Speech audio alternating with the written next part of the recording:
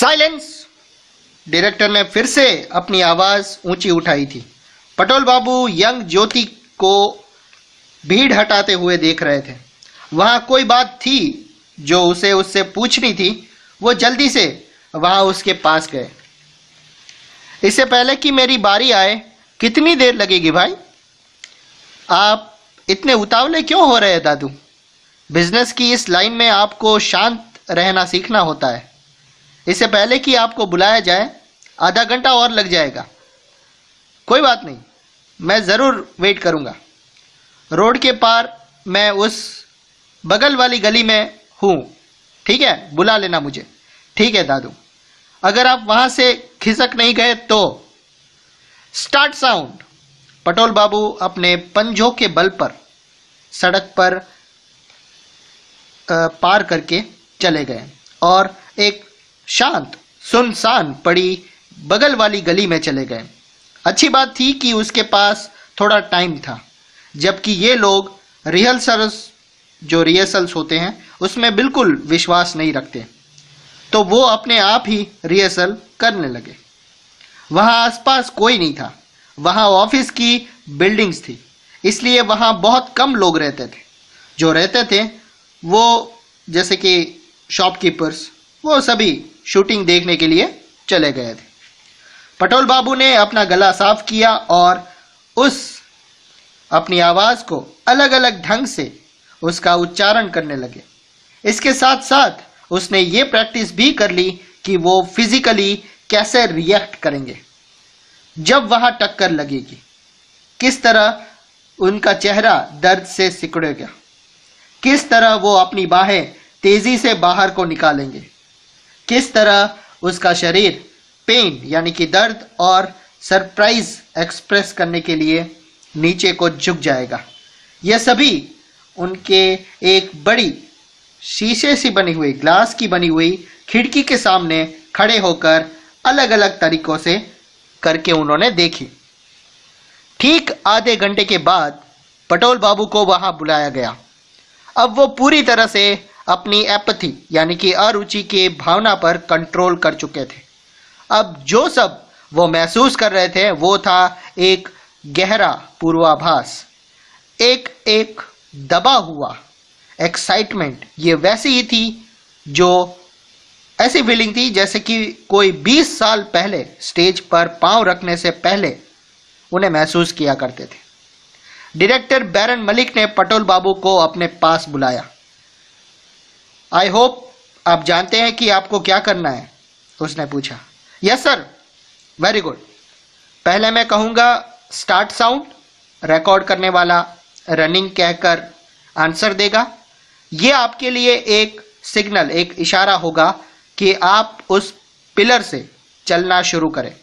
और हीरो के लिए इशारा कि वो अपनी कार से बाहर रहे और जल्दी से ऑफ़िस की तरफ़ बढ़े। आप अपने कदम इस तरह से हिसाब लगा लीजिए कि टक्कर इस जगह पर हो। यहाँ यहाँ। ठीक है? हीरो आपकी तरफ़ कोई ध्यान नहीं देता और लंबे कदम लेता हुआ ऑफ़िस में चला जाता है।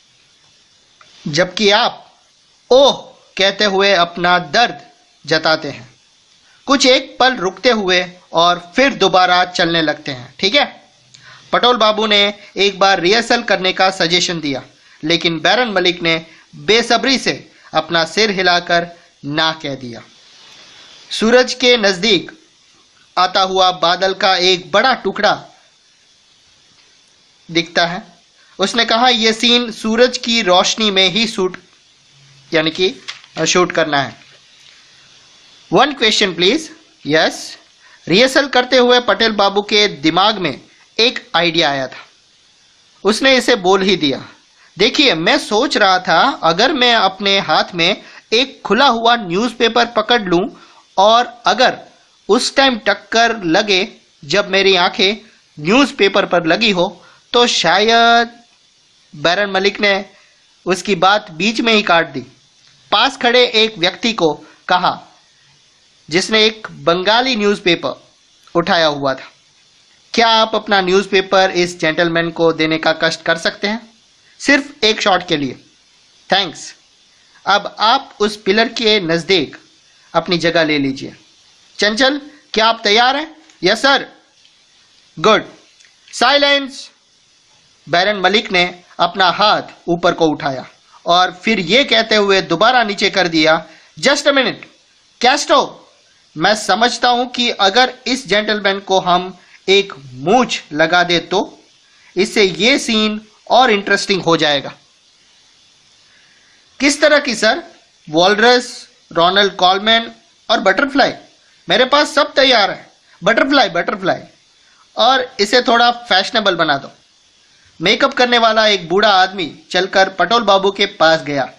एक डिब्बे में से एक छोटी सी ग्रे कलर की मूछ निकाली और उसे पटोल बाबू की नाक के नीचे की तरफ़ स्पिरिट गम के साथ चिपका दिया। पटोल बाबू ने कहा आई होप कि ये टक्कर के वक्त उतरेगी नहीं, उतर नहीं जाएगी. मेकअप करने वाला आदमी मुस्कुराने लगा, टक्कर अगर आप दारा सिंह के साथ कुश्ती भी करेंगे ना तो भी ये अपनी जगह से नहीं हिलेगी. पटोल बाबू ने उसे मिरर के जल्दी से एक नज़र में देखा, उस आदमी ने जो पकड़ा हुआ था वो। बिल्कुल सच्ची बात। मूछ में, मूछ उसे बहुत जच रही थी। पटोल बाबू अपने मन ही मन में डायरेक्टर की समझदारी की तारीफ़ कर रहे थे। साइलेंस साइलेंस मूछ वाले काम ने दर्शकों की तरफ़ से कमेंट की एक लहर सी पैदा कर दी थी, जिसे बैरन मलिक की ऊँची आवाज़ ने खामोश कर दिया। पटोल बाबू ने देखा कि अगल बगल में खड़े ज़्यादातर लोगों की आँखें उसकी तरफ़ लग गई थी।